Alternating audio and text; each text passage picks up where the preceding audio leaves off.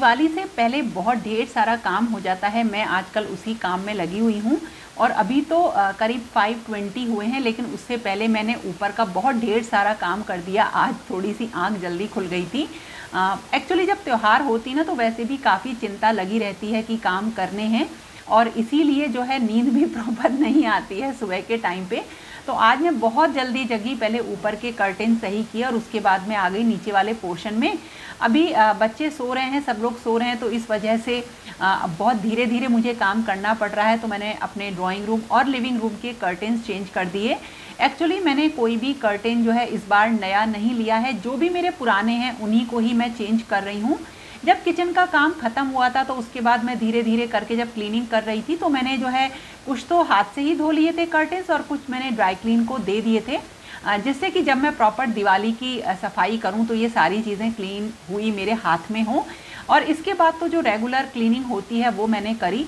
Actually ये सभी घरों में आजकल हो रही है लेकिन अ, मैं थोड़ा सा जब मेरी इस बार लेट इसलिए हो गई है कि बाहर का काम चल रहा है और वो कंप्लीट होने में ही नहीं आ रहा है। छोटी छोटी सी चीज़ें उसमें लगी हुई हैं।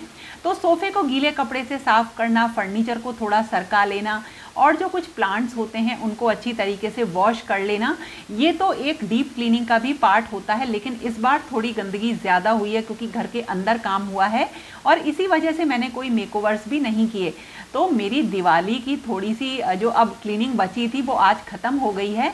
और अब मैं स्टार्ट करूँगी डेकोरेशन छोटा छोटा करके और फिर देखती हूँ कि क्या बड़ा मैं कर पाती हूँ, क्योंकि अब मेरी सबसे पहला जो रहता है, वो यही रहता है कि मैं पहले क्लीनिंग कर लूँ और उसके बाद डेकोरेशन पे आऊँ। और डेकोरेशन पे भी मैं तब आती हूँ जब मेरा खाने पीने की सारी प्लानिंग हो जाती है।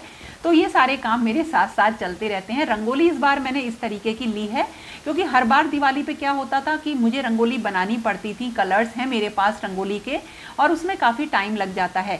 तो मैंने इसलिए एक रंगोली ले ली है कि अगर मुझे कम टाइम मिला तो एक ही बना दूँगी थोड़ी सी और इससे मेरा काम चल जाएगा। बहुत सुंदर है ये अ, मैंने काफ़ी पहले ले ली थी। तो रेडीमेड रंगोली भी बढ़िया रहती हैं इनसे भी जो है काफ़ी मदद मिल जाती है क्योंकि ये सारी चीज़ें तो दिवाली पे करनी ही रहती हैं। और मैंने थोड़ा सा जो सेटिंग होती है ना वो चेंज कर दी। एक्चुअली देखो आ, बार बार नया सामान खरीद के बिल्कुल मेकओवर करना अभी पॉसिबल नहीं है। आ, तो मैं सामान को क्या करती हूँ इधर से उधर कर देती हूँ और उसी से ही लुक बिल्कुल नया निकल कर आ जाता है सब खुश हो जाते हैं। तो अब क्योंकि एक बड़ा बजट बाहर और किचन में लग चुका है तो मैंने कहीं का कोई मेकओवर प्लान नहीं किया। स्टेयर्स में खूब सारे प्लांट्स रख दिए हैं क्योंकि यहाँ धूप आती है मेरी स्टेयर्स पर और ये बहुत अच्छे से ग्रो करते हैं। तो अब बढ़ते हैं एक डीआईवाई की तरफ़। क्या बेच रहे हो तुम? बोल दे। बोलो तो। दीपक। बोलो क्या बेच रहे हो? अब नहीं बोले वो।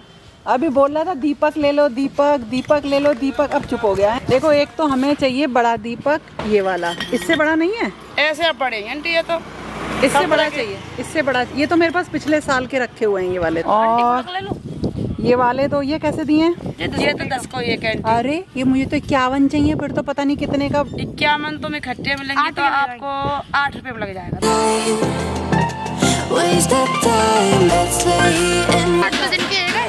और सौ। ये दो सौ सात। नीचे हाथ लगा ले बेटा। बस।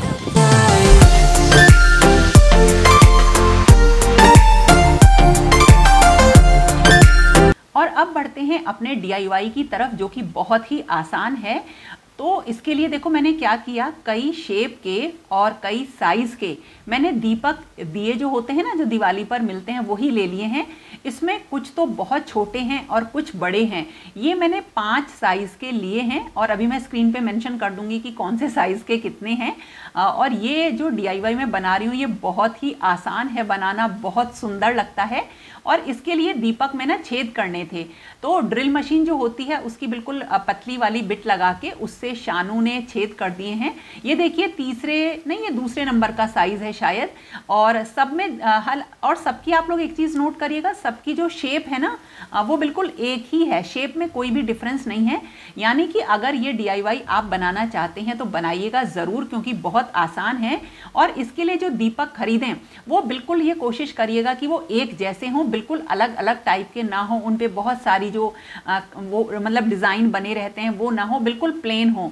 तो देखिए, ये काफ़ी सारे छेद हो गए हैं इनमें और शानू की तबीयत सही नहीं है, लेकिन फिर भी उसने मेरी मदद करा दी और ये है फोर्थ नंबर का साइज़। शायद थर्ड या फोर्थ नंबर का साइज़ है। तो आप देखिए, सबकी जो शेप है, वो तकरीबन एक जैसी ही है। ये काफ़ी ढेर सारे लिए हैं और इनसे ही एक बहुत अच्छा जो वॉल डी है, वो क्रिएट होगा और ये इतना आसान है कि इसे बनाना ना मतलब इतना आसान है कि आप फटाफट बना सकते हो और छोटे दीपक, बड़े दीपक सब में छेद हो गए और ये तो वही दीपक हैं जिन्हें हम जो है जलाते हैं। ये सबसे बड़ा साइज़ है और ये एट पीसेज हैं और इनको भी वही सेम तरीके से इनमें छेद कर लेना है। देखिए, एक आध तो इसमें टूटे थे, लेकिन ड्रिल मशीन से अच्छे से इसमें छेद हो जाते हैं। नहीं तो जो, जहाँ से आप इनको लो ना, कुम्हार जो होते हैं, वो भी इनमें छेद कर देते हैं, लेकिन अगर ड्रिल है तो बहुत अच्छा है। ये एक लोकल मार्केट से मैंने ड्रिल खरीदी थी, और ये केवल शायद नाइन हंड्रेड रुपीज़ की आई थी। चार पाँच सालों से मैं इसे इस्तेमाल कर रही हूँ। बिल्कुल बढ़िया चल रही है तो वैसे भी ड्रिल मशीन तो होनी ही चाहिए घर में।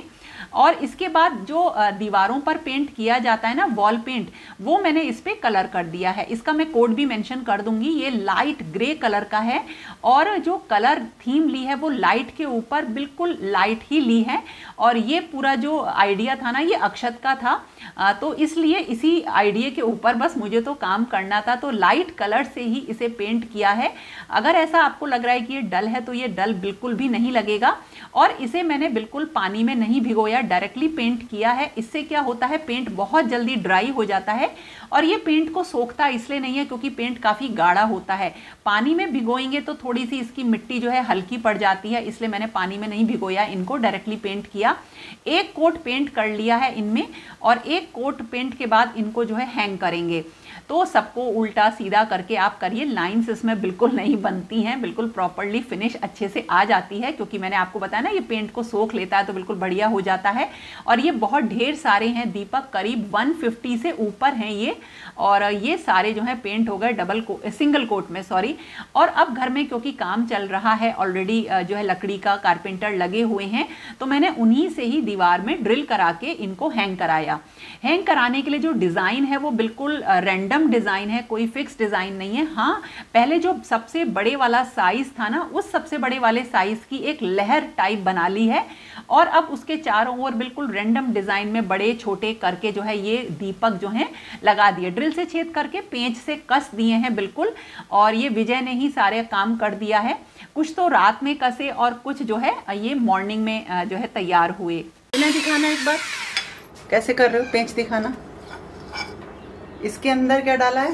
ये डाला ये डेढ़ इंच का हाँ। और ये दीवार में सुराख कर दिए इसमें टाइट कर देंगे। बस है ना? बस। लग जाएँगे? लग जाएँगे। गिरेंगे तो नहीं? नहीं नहीं।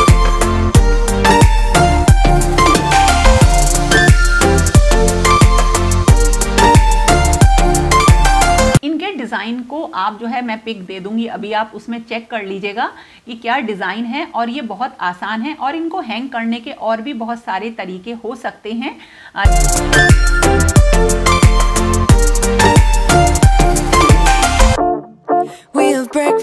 जैसे बहुत ही अच्छा कोई बहुत ही हैवी जो आता है ना ग्लू आप उसका भी यूज़ कर सकते हैं। देखिए कितना सुंदर ये लग रहा है। और इसमें केवल एक कोट हुआ है। इतनी बढ़िया ये एक वॉल आर्ट तैयार हुई है। तो ये देखिए सिंपल पेंच से लगाए हुए हैं और जहाँ पे छेद बड़ा हो गया था वहाँ पे वॉशर लगा दिया है ताकि ये निकले नहीं बाहर. Coffee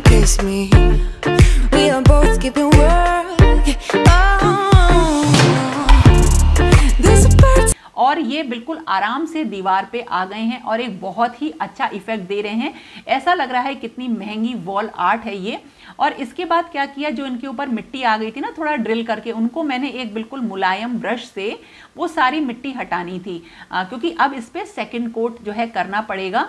तो जब मिट्टी हटाएँ ना तो ऊपर से हटाएँ क्योंकि अब अगर ऊपर वाले दीपक में मैं हटाऊँगी ना तो वो इसके ऊपर गिरने लगती हैं। और इसी तरीके से पेंट भी जब सेकेंड कोट का करें तो ऊपर से ही करें।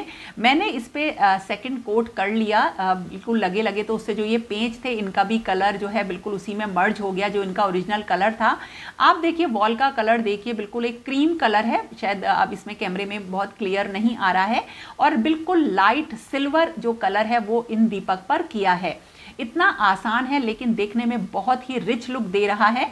और वैसे भी जो इसका फाइनल लुक निकल कर आएगा लाइटिंग के बाद, वो तो आप प्रॉपर जो आउटडोर का वीडियो जो कि बिल्कुल आने वाला है, उसमें देखेंगे। और ये बहुत सुंदर लगा। अब इसको आप ट्राई करिए, बनाइए, आपको बहुत अच्छा लगेगा।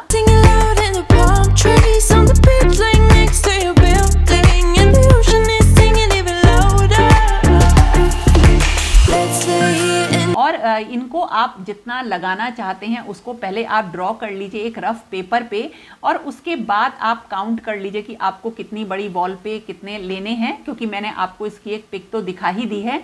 और ये बहुत अच्छा डीआईवाई है और इसे केवल आउटडोर एरिया में ही नहीं, बल्कि आप किसी भी रूम में और लिविंग एरिया में बना सकते हैं। तो मैंने अब पेंट का काम स्टार्ट कर दिया सेकेंड कोट का, बन के बहुत, ये बहुत ही ज़्यादा सुंदर लग रहे हैं। और इसके बाद जो है मैं अपने मंदिर में आ गई सफ़ाई करने के लिए। और जो ये डीआईवाई है ना, ये जो मैंने बनाया इसको ज़रूर ट्राई करिएगा। थोड़ा सा भी अगर आप कहीं बनाएँगे ना तो आपको ये इतना सुंदर लगेगा कि आपका मन करेगा कि मैं इसे किसी बड़े एरिया में बना लूँ। और देखिए, अब दिवाली की वजह से मंदिर को क्लीन करना था तो मंदिर को मैं जो हूँ, जो किचन का जूना होता है ना, उसी से ही क्लीन करती हूँ। क्योंकि इसमें थोड़े धूप बत्ती के, दीपक का काले धुएँ के निशान आ जाते हैं। और उसके बाद जब कभी भी मंदिर में कुछ बिछाएँ, उससे पहले एक कोई भी टेरिकॉट का या कॉटन का एक फैब्रिक ज़रूर बिछा लें नीचे और उसके ऊपर आप अपने बाकी के कपड़े बिछाइए। तो इस तरह से सारे भगवान जी मैंने स्थापित कर दिए, कपड़े वगैरह उनके सही रख दिए, जो उनके जाड़ों के निकालने हैं निकाल दिए। मंदिर के ऊपर मैंने ये थोड़ा सा फैब्रिक इसलिए बिछाया कि जैसे कभी दीपक वगैरह बच्चों से मैं जलवाती हूँ तो वो यहीं खड़े होकर मंदिर के ऊपर ही दीपक रख के जलाते हैं तो उससे थोड़ी सी गंदगी हो जाती है। और ये देखिए, कुछ अब डेकोरेशन की बारी आई तो आजकल मार्केट में हैंगिंग बहुत सुंदर सुंदर चीज़ें मिलती हैं। और ये केवल आपको दिवाली के टाइम पे ही मिलती हैं, बाद में नहीं मिलती। और इनको ना अब हटाने की भी ज़रूरत नहीं है। जैसे दिवाली पे आप डेकोरेशन करना चाहते हैं तो इनको अभी लगा दीजिए।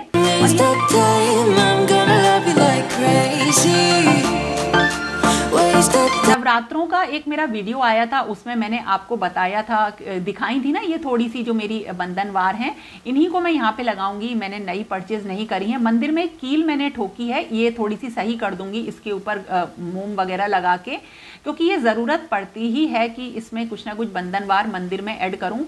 वैसे तो दिवाली वाले दिन पूरा जो अशोक के पत्ते होते हैं, उनकी बंधनवार मैं बनाऊँगी, मंदिर में भी लगाऊँगी। लेकिन जैसे मेरे पास ये नवरात्रों पर खरीदे हुए कुछ घंटियाँ पड़ी थी, ये ही सुंदर लगती हैं। इसके लिए मैंने कोई प्रॉपर बंधनवार नहीं खरीदी। तो डोर क्योंकि मंदिर के खुले रहते हैं तो उसमें लटकी हुई, ये बहुत अच्छी लगी। थोड़ा सा जो कॉम्बिनेशन होता है, मैं डल और डार्क रखती हूँ, जैसे गोल्डन और वाइट कलर की बंधनवार आप किसी भी तरीके के मंदिर में लगाएँगे, किसी भी कलर का होगा ना तो अच्छी लगेगी। और थोड़ा सा ब्राइट कलर जो है, मुझे बंधनवार के कम ही पसंद आते हैं, लेकिन साइड में मैंने ब्राइट कलर लगा दिया। तो इस तरह से दिवाली का डेकोरेशन स्टार्ट हो गया है। डीआईवाई भी मैंने आपके साथ शेयर कर दिया है और पीतल के बर्तन सारे बिल्कुल चमचमा गए हैं। तो दोस्तों, अगर ये वीडियो पसंद आया हो डीआईवाई पसंद आया हो ना तो एक लाइक ज़रूर करना और फिर मिलेंगे एक नए और इंटरेस्टिंग वीडियो के साथ। तब तक के लिए okay friends thank you and bye bye